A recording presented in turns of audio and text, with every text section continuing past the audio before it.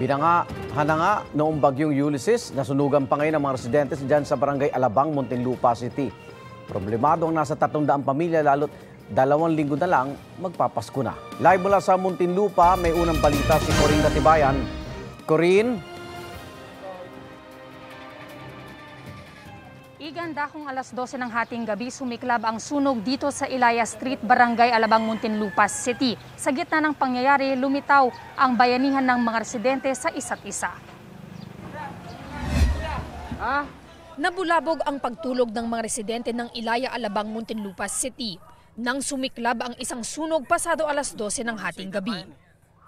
Mabilis na lumaki ang apoy. Pero nangibabaw ang pagtutulungan ng mga residente para maapula ang apoy. Bagamat ang ilan, hindi magkamayaw kung ano ang gagawin. Dampot na lang ng kung ano ang pwedeng mabitbit.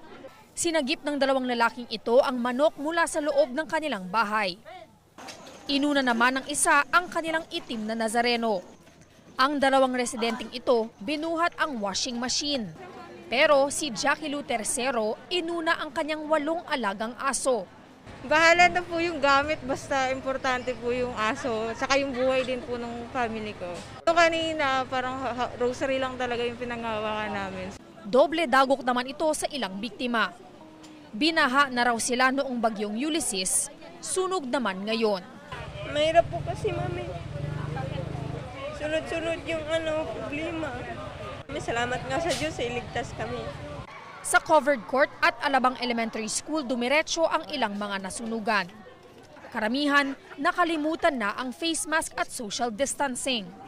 Aminado ang BFP, nahirapan sila dahil nasa looban ang apektadong lugar. Isa po yun sa ah, naging ah, cause ng ah, kaunting ah, ah, delay ng pagpasok ng mga bombero natin dahil kung mapapansin ninyo ma- makikipot yung daan.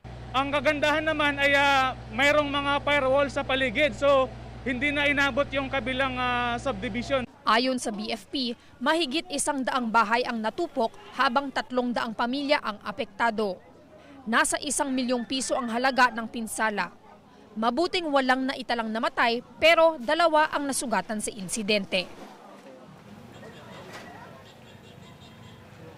Bago mag alas 3 ng madaling araw, idineklarang fire out ng BFP ang sunog.